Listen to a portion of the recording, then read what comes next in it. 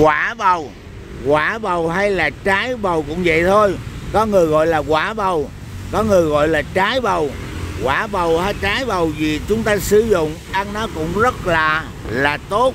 Nhưng mà riêng có một số người, riêng có một số bệnh thế này sẽ không tốt gì cho sức khỏe nếu ăn vào. Những người ăn trái bầu, quả bầu không được tốt là những người đang bị lạnh bụng.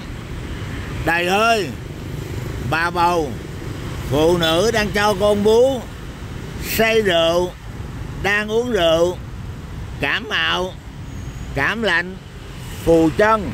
Những người này vui lòng không sử dụng quả bầu hay là trái bầu để nó tốt cho sức khỏe của mình.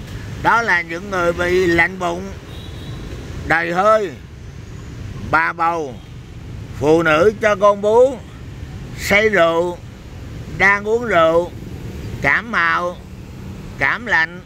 Phù chân là vui lòng. Đừng ăn quả bầu hay trái bầu.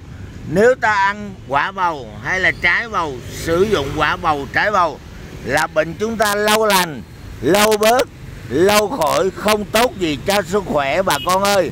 Còn ngoài ra, ăn bầu nó có lợi cho sức khỏe, nó có lợi là tốt cho gan.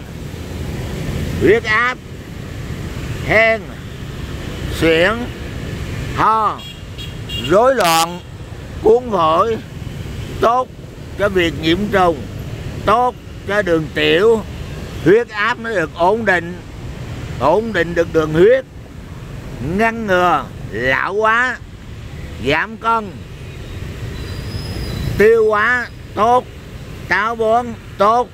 Sức khỏe, tốt. Tốt cho hô hấp, tốt cho tóc, tốt cho tim, mạch đó là những người tốt và nó tốt khi ta ăn bầu nó tốt khi ta ăn bầu nó tốt cho sức khỏe là nó tốt cho gan oh, tốt cho đường hô hấp tốt cho suyễn tốt cho hen tốt cho ho tốt cho việc rối loạn cuốn vội, tốt cho việc nhiễm trùng ổn định tốt cho đường tiểu huyết áp ổn định tốt cho đường huyết ngăn ngừa lão hóa giảm cân, tiêu hóa, táo bón, sức khỏe, hô hấp, nó tốt cho tóc và nó tốt cho tim. Tốt cho mạch là tốt cho tim mạch. Mà nói như vậy là không phải ăn bao nhiêu cũng được. Ta uống nước hay ăn, một ly một ngày, ăn bình thường. Một tuần không quá ba bữa.